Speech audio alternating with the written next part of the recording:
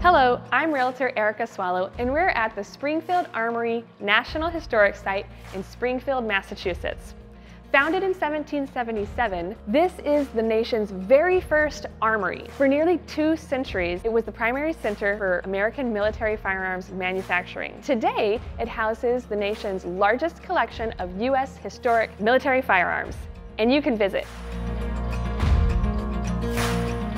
Hi, I'm Kelly Fellner, and I'm the superintendent at Springfield Armory National Historic Site. The Springfield Armory was set up first as an arsenal during the Revolutionary War and then became the nation's armory set up by President George Washington. The Springfield Armory transformed manufacturing in the country by perfecting production of firearms through interchangeable parts. The Springfield rifle went out to the field during the Civil War. You were in the battlefield and something went wrong with your rifle you could fix it there on the battlefield because of the interchangeable parts. This is over 200 years old. The Blanchard lathe that took a solid piece of wood and it carved it into an irregular shape. Here it was for a gun stock, instrumental in factories to make things like chair legs, baseball bats. Another popular exhibit here in the museum is the mishaps. When something happened in the field, that weapon would come back here and the engineers would look at it so that they could make sure that a reliable firearm went back to the soldier the organ of muskets, this is how they would have been stored. This would have filled this entire floor. Springfield was designated the 2023 World War II American Heritage City.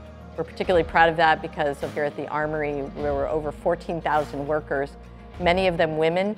Um, they were known as WOWs, or Women Ordnance Workers. Springfield Armory National Historic Site offers ranger-guided tours and demonstrations and blank firing demonstrations, our junior ranger programs. We feature at least one big band concert every year which commemorate when Benny Goodman played here in 1943 during World War II.